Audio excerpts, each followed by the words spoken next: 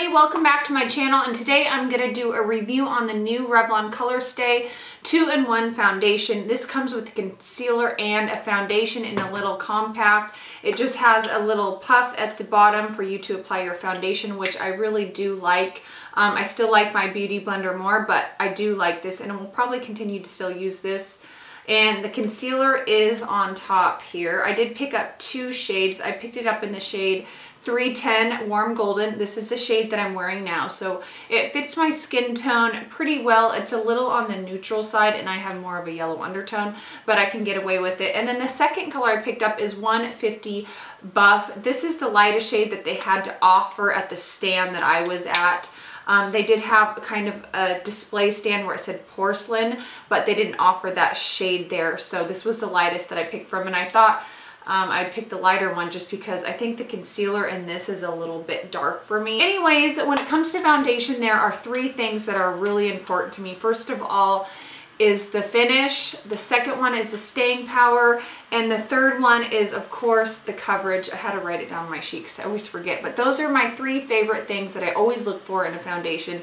Now, starting with the staying power, the staying power is pretty good. It does not last as long as the regular Revlon Colorstay. Um, my skin is pretty much normal right now. Uh, so the way I test it out is I work out with the foundation on and this held up pretty good. It really did. Um, but this held, this foundation holds up a little bit better. So as far as the staying power, this lasts longer, um, but this still did pretty good. The second one is the finish. The finish is a matte finish. It has a beautiful matte finish. It's not like a flat, really fake looking matte. It's more of like a skin-like matte. I mean, you can still tell that I'm wearing foundation, but it does have a really pretty matte foundation. Foundation does have a really pretty matte finish. Now for the coverage, the coverage in this compact is better than the coverage of this foundation, the Revlon Colorstay foundation. With this foundation, I have to use two coats to get full coverage. This foundation, I can use one coat and get full coverage. Uh, especially for somebody that has freckles and spots to cover, you will notice that this does cover um, a lot better or it's more pigmented than this but I still do really like this foundation but this is just more pigmented. So the coverage is amazing on this definitely a full coverage product. As far as how it looks on the skin like going over fine lines under the eyes and then over my pores I think it does a really nice job so I don't have any complaints there. And granted I'm not like super wrinkly yet and I do have small pores but there have been foundations out there that I will not wear because they make my skin look so awful this does look really pretty on the skin. I mean, I'm wearing it right now and you can see that I have a nice flawless coverage. Um, it's not too matte, but it's enough to keep me from looking shiny. However, I did set the foundation with a tiny bit of the Tarte translucent powder just under the eyes and on my T-zone. I didn't set any powder on my cheeks or anything. So um, I really like this powder to go over this. It did a really great job. Definitely really do strongly suggest is always wear a primer or a pore filler. I use the NYX pore filler on matte foundations because I just think it makes it look that much better. I used to not wear primers, but as I'm getting older, they make a huge difference on not only lasting power, but more importantly to me is how your skin looks, how the foundation looks over your skin. And this is a really great one. I've really been enjoying this a lot. On to the concealer.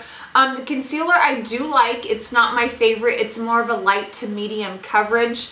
Um, it's a little bit thinner than the foundation itself. It has, um, I don't know, it kind of feels like there's a serum in it or something. I really like the feel of it. If you do not set this with the powder, it will crease. This is definitely one of those concealers that will crease.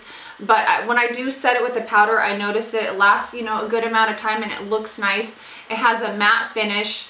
Um, my only complaint is I wish they would have made it like a corrector or, you know, more yellow toned or more pink toned. So it's more of a corrector or a brightener. It's just kind of a lighter version of the foundation and not much. So you're not going to get that real brightening effect. But other than that, you know what? I do like it enough to continue using it. So I'm going to go ahead and start with the shade in number 310 Warm Golden. And you'll notice right away, I mean, look at the coverage. Just right away, you instantly can tell that it has a lot of coverage to it. It does have a matte finish. So you definitely want to use um, like a pore filler or a primer.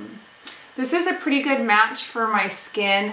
The shades I notice run a little bit neutral um, and I have more yellow undertones in my skin. But I like it neutral more than like on the pinky side because I feel like people can get away with the neutral and the yellow shade versus like the pink shades. So there's half of my face done. You can tell that it made a really big difference. I mean, it covered up all my freckles and this is just one thin layer. So I'm gonna go in with the other side and use my Beauty Blender because I just, I don't know, this is just my favorite way to apply pretty much any foundation. Sorry if I'm making like really weird makeup faces, but we all do it. So here is just one coat of the foundation. You can see that it gives a really nice, beautiful matte finish. It's not super flat matte, so I like that. Um, as I'm getting older, I really don't like super flat matte foundations. So for the concealer, I'm going to go ahead in with the um, compact in the shade Buff 150. I'm going to use the concealer from that. And you'll see that it's not really brightening, but it does do some coverage, so I like that. I'm just going to use my finger kind of get in where it is the darkest right here in that kind of cavern, cavern, I don't know, whatever you want to call it. So you can see that it did make a nice bit of a difference. Um, it does kind of crease after a while, so you got to set it. But I mean, if you set it with a decent powder, um, I didn't find it creasing. Here we have the shade in Warm Golden. Next to it is the concealer. And then the shade over here, that um, more neutral yellow toned one, is the Buff.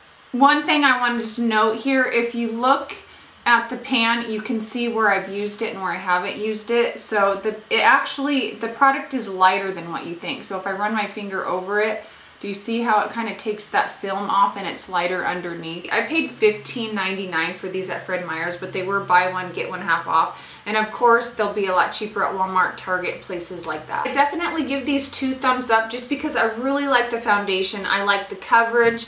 I like the staying power, especially if you have normal skin or even dry skin. This is gonna last quite a while on you. Oily skin, it, you know, you're gonna have some breakthrough, but I still suggest that you try it. I mean, save your receipt because it is kind of spendy. But why I give it two thumbs up is, you know, it's convenient. It has a nice concealer. You know, it's not my favorite concealer, but like I said, I will continue to use it, so I like it enough to use it all up, you know. And then also the sponge it comes with. This is such a great sponge. Is a nice, soft, squishy sponge, and you know, it gets the job done. I do really recommend this product. I remember back in the day when I was in high school, this was years ago, Revlon had compacts like this, and from what I can remember, it seems a lot like it was, you know, in the past when I used to use these. I really enjoyed the compacts too. It was just like this, you know, kind of a compressed foundation like this. So anyways, guys, I hope you had a wonderful Thanksgiving. Stay beautiful inside and out, and I will see you in my next video. Bye, guys.